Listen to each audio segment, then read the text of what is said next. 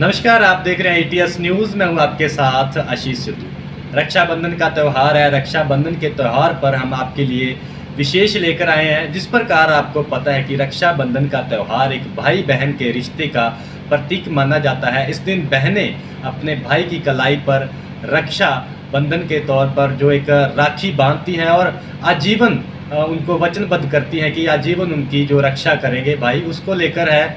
हम आज आपको बताएँगे कि रक्षाबंधन त्यौहार का क्या महत्व है, क्यों मनाया जाता है, और इस दिन कौन से देवी देवता की पूजा महत्वपूर्ण रहती है, और कौन सा मुहूर्त शुभ माना जाता है इस रक्षाबंधन के लिए? और ये भी बताएँगे कि जिस प्रकार इस वर्ष 2022 का जो वर्ष चल रहा है, इसमें रक्षाबंधन को लेकर दो तिथियाँ निर्धारित की गई है। कौन सी तिथि आपके लिए महत्वपूर्ण है? कौन सी तिथि में आप अपने भाई की कलाई पर राखी बाँध सकती हैं? उसको लेकर आज हमारे साथ हमारी स्क्रीन पर मौजूद हैं पंडित नीरज भारद्वाज। उनसे हम चर्चा करेंगे और जानेंगे कि रक्षाबंधन का त्यौहार किस प्रकार मायने रखता है? तो चलिए फिर करते हैं उनसे बातचीत।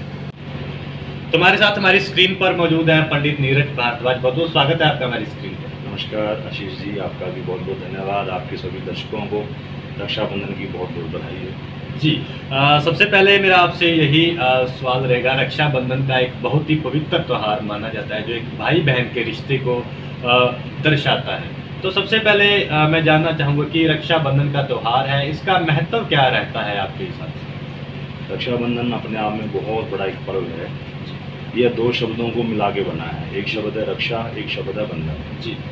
जिसमें भाई को रक्षा बाँध करके बहन एक रक्षा के लिए प्रतिबद्ध है कि वो अपने भाई को एक रक्षा कवच दे रही है। जी। और बंधन में भाई बनते हैं कि मैं आजीवन आपकी रक्षा तन मन धन से करूँगा। जी। इन दोनों को मिला करके ये त्यौहार बना है जो कि अपने आप में बहुत बड़ा और विशेष पर्व है। जी।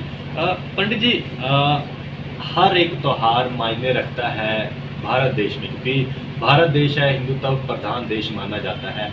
महत्व आपने बता दिया लेकिन अगर बात करें क्यों मनाया क्यों जाता है रक्षाबंधन? इसके पीछे बहुत बड़ी कथाएँ हमारे ग्रंथों में लिखी गई हैं। जी।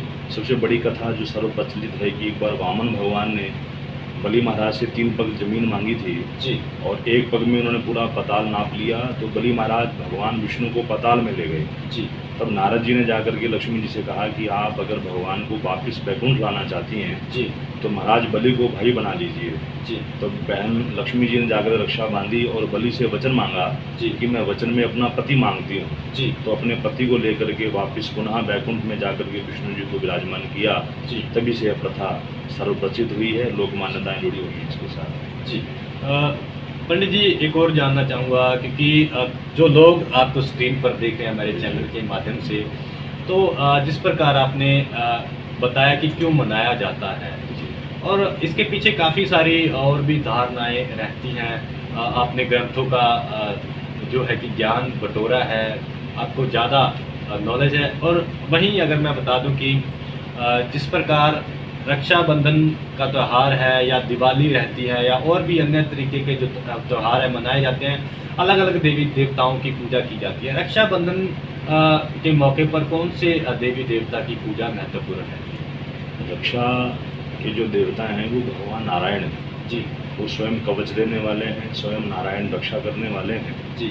तो इस पर्व के ऊपर आठ चिरंजीवी जो शास्त्रों में बताए हैं अश्वत्थामा बलव्यासो। हनुमान से विभीषणा कृपा परशुराम सप्तेता चिरंजीविना। और आठवें मार्कंडे ऋषि ये आठों के आठों देवता एक बहन की रक्षा बांधने पर ही भाई की रक्षा करते हैं। जी। तो भगवान नारायण और आठ चिरंजीवी जी। इस पूजा के विशेष देवता माने जाते हैं। जी। देवता आपने बताया कि पूजा की जाती है और आठ देवता हैं जिनकी पूजा महत्वपूर्ण रहती है। और जिस प्रकार रक्षाबंधन का मौका है, इस बार काफ़ी तरह की जो तिथियाँ हैं, वो देखने को सामने आ रही हैं। कुछ लोग बता रहे हैं धर्म ग्रंथों के अनुसार कि 11 जो तारीख है, वो ज़्यादा बेहतर है। कुछ 12 बता रहे हैं। अगर आपके ज्ञान के हिसाब से बात की जाए तो कौन सा कौन सी तारीख है 11 है या 12 है जो महत्वपूर्ण है? जी। हमें बड़ा हास्यास्पद सा लगता है जब लोग एक त्यौहार को दो मना लेते हैं। जबकि शास्त्रों में रोज ही त्यौहार हैं। जी। अगर हम 11 तारीख की बात करें तो 11 को भी रक्षाबंधन है। जी। बहुत समय बाद ऐसा एक योग घटित हुआ है कि मकर राशि की भद्रा है। जी। जब राशि मकर में भद्रा आती है तो वो पताल निवासनी है। जी। इसलिए भद्रा का कोई विशेष प्रभाव नहीं है। जी। क्योंकि सबके मस्तिष्क पटल पे भद्रा का एक बड़ा प्रभाव है जी। लोग भद्रा को बहुत गहनता से संवेदनशील मानते हैं। जी। इसलिए इस त्यौहार को लोग बारह तारीख को भी मना रहे हैं। जी। तो ग्यारह को भी मान्य हैं और बारह को भी मान्य हैं। जी। जिसमें से ग्यारह तारीख के कुछ विशेष समय हैं जी मैं आपसे आपके मैं चैनल के माध्यम से दर्शकों को बताना चाहूँगा। जी जी। कि 11 तारीख को एक अभिजीत मुहूर्त आएगा। सुबह ग्यारह पचास से लेकर के बारह पचास तक का उसका समय है। जी। ग्यारह तारीख को जो भी बहनें रक्षा बांधना चाहती हैं वो इस समय में बाँध लें। जी। इसके बाद एक विजय मुहूर्त आएगा दो बज के तीस मिनट से लेकर के तीन बज के बाईस मिनट तक। जी। ग्यारह तारीख को एक ये भी मुहूर्त है जो भी बहनें रक्षा बांधें इसमें भी बाँध सकती हैं। इसके बाद एक अमृत मुहूर्त आएगा जी। रात्रि को आठ बीस से लेकर के और दस तीस तक। दोबारा सुने। शुभ मुहूर्त है अमृत मुहूर्त है रात को आठ बीस से लेकर के रात्रि के दस बज के तीस मिनट तक। जी। आप इस समय में भी रक्षा बाँध सकती हैं। जी। और जो बारह तारीख है ये पूरी ही शुभ है। पूरी सूर्योदय से लेकर के दोपहर तक कभी भी रक्षाबंधन किया जा सकता है। जी। हर वर्ष रक्षाबंधन का जो त्यौहार होता है अपने आप में विशेष माना जाता है। 2022 का वर्ष है। इस वर्ष किस तरह का विशेष है? क्या कुछ विशेष है इस त्यौहार में? देखिए हर साल ज्योतिष जो है हर त्यौहार को एक विशेष आभूषणों से अलंकृत करता है। जी। जो इस बार रक्षाबंधन आ रहा है यह चतुर्दशी में आ रहा है। जी। ज़्यादा तिथि का जो पूर्णिमा का अंश है वो चतुर्दशी में निकल गया और शेष कुछ अंश जो बचा है जी। वो बारह तारीख को सूर्योदय में बचा है। जी। तो इसको हम लोग ज्योतिष की भाषा में उदय व्यापनी तिथि कहते हैं। जी। तो उदय व्यापनी होने से इसका प्रभाव बढ़ा है। जी। रक्षाबंधन की जो ड्यूरेशन है जो तिथि का समय है वो बढ़ गया है। जी जी। इस कारण से जो भी तिथि पर्व पे बढ़ जाती है उसको शुभदायी माना जाता है। जी। तो निश्चित ही इस साल का रक्षाबंधन सबके लिए फलदायी है। बहुत ही शुभ माना जाएगा। जी। जिस प्रकार हर त्यौहार पे पंडित जी ने बताया कि देवी देवताओं की अलग अलग तरीके से पूजा की जाती है। रक्षाबंधन के त्यौहार पर आठ जो देवता हैं उनकी पूजा की जाती है। अच्छा पूजा का भी कोई समय है या पूजा का कोई निर्धारण कोई विधि क्योंकि हर पर तरीके से जो विधि होती है इस बार कौन सी विधि है रक्षाबंधन? देखिए रक्षाबंधन बहुत संवेदनशील त्यौहार है। जी। आजकल की विशेषकर माताएँ क्या करती हैं बाज़ार से रक्षा खरीदती हैं रखड़ी खरीदती हैं जी। और उसको जाकर के भाई को बाँध देती हैं। जी। जबकि ऐसी मान्यता शास्त्रों में नहीं है। जी। रक्षाबंधन एक बड़ी सावधानी से मनाने का पर्व है। जी। इसको मनाने के लिए बहनों को रक्षा सूत्र लेना चाहिए। जी। और वो भी रेशमी होना चाहिए सूती नहीं लेना है। जी जी। रेशमी लेना है क्योंकि जो रेशम रहता है वो एंटीबायोटिक होता है। जी। उसको जब भाई की कलाई पे बांधते हैं तो पी फाइव से लेकर के पी नाइन तक की जो पॉइंट है हमारे हाथ के जो। एक्यूप्रेशर जानते हैं उनको पता है जी। कि पी सिक्स फाइव से लेकर के और पी सी नाइन तक का जो प्रेशर है उनके ऊपर प्रभाव पड़ता है। जी। जब बहनें उस रक्षाबंधन को बांधती हैं कलाई के ऊपर तो वो भाई को प्रेरणा करती हैं जी। ताकि वो अच्छे कर्मों में लगे। इसकी बहुत शास्त्रों में सावधानियाँ बताई हैं कि जब भी रक्षाबंधन के लिए बहन जाए जी। तो दोनों निराहारी होने चाहिए दोनों का व्रत रहना चाहिए। जी। जाकर के सर्वप्रथम भाई को लकड़ी के पाटे पे बैठाना चाहिए। जी। और प्रयास ये करें कि उस पाटे में लोहे की कील ना हो पूरा लकड़ी से बना ही वो पाटा हो। जी। भाई को बेड पे बैठा करके चारपाई पे कुर्सी पे इस प्रकार रक्षा बांधना तो शास्त्र उचित नहीं है। जी। भाई को पाटे पे बैठा करके केसर का तिलक तो केसर भी एंटी फंगस है। जी। केसर का तिलक छठी इंद्री पर लगा करके बहन को भाई को पूर्व की ओर मुँह करके बैठाना चाहिए। जी। तो रक्षाबंधन को बहुत संवेदनशील बहुत पवित्रता से मनाने का त्यौहार है। जब रक्षा बहन बांधती है तो मौन होकर के बांधे। और मन ही मन ये बद्धो बलिराज दानवेंद्रो महाबला तेन त्वाम बदनामी रक्षे माचल माचला। इस मंत्र का जप करके भाई के दाई कलाई पर। जी। माताएँ कोई लेफ़्ट भी बाँध देती हैं राइट पे बांधती हैं ऐसा नहीं है। इसके लिए राइट कलाई ही निर्धारित है। जी। तो भाई की राइट का जो कलाई है इसके ऊपर बहन को बांधना चाहिए। जी। और इसको और जो शास्त्र सम्मित बात है कि रक्षा लेकर के सर्वप्रथम जो भी आपके घर के पास नज़दीक मंदिर हो देवालय हो वहाँ पर जाना चाहिए।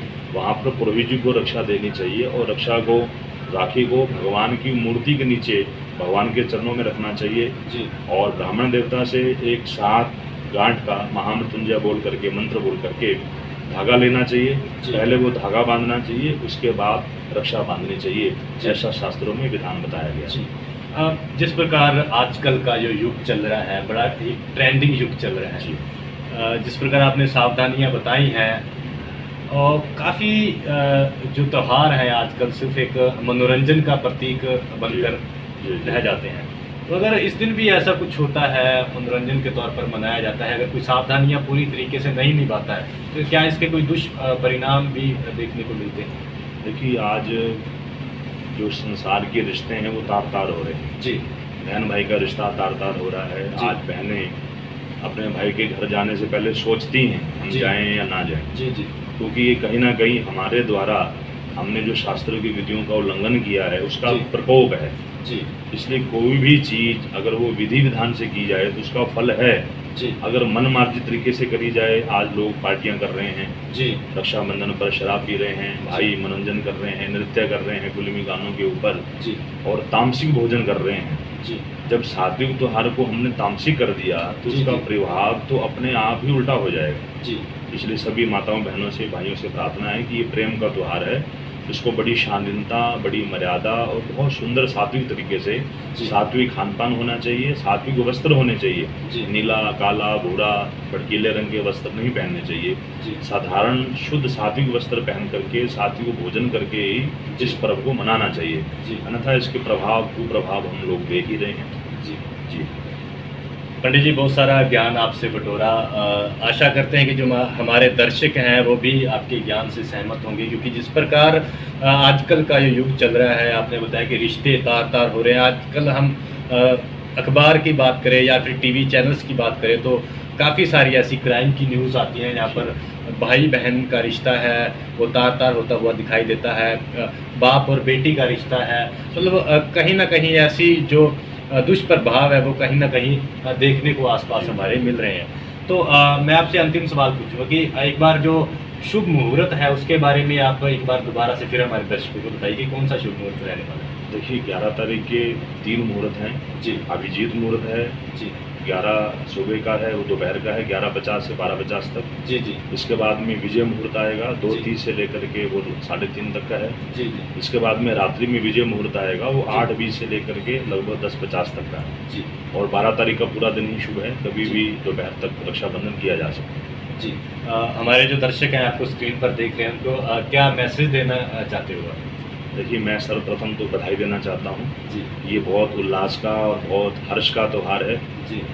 जो भी भाई आपके रूठ चुके हैं किसी भी कारणों से बहनें नाराज़ हैं या भाई नाराज़ हैं जी जी। तो यह त्यौहार समाज को जोड़ने के लिए है। जी। तो बहनें नहीं आ सकती हैं तो भाई जा कर के रक्षा बंधवाएँ और जहाँ तक संभव हो सके अपनी बहन का अपनी माता का आजीवन कर्तव्य निष्ठ होकर के उनकी रक्षा सुरक्षा पोषण संवर्धन हर प्रकार का दायित्व तो जो एक पुरुष के लिए निर्धारित किया गया है एक भाई के लिए निर्धारित किया गया है। तो समाज के भौतिकवाद को छोड़ करके पारिवारिकवाद को जान करके सभी भाइयों से भी अपील करूँगा कि वो इस रक्षाबंधन को अवश्य मनाएँ बहनें भी इसको अवश्य मनाएँ। इसी आशा के साथ आपको नमस्कार है। जी। बहुत बहुत धन्यवाद। आपने अपना कीमती समय हमारे साथ जो साझा किया जी धन्यवाद आपका भी आशीष जी। आपकी पूरी टीम का बहुत बहुत साधुवाद धन्यवाद। आपको भी बहुत मंगलमयी बधाइयाँ रक्षाबंधन के लिए। धन्यवाद जी।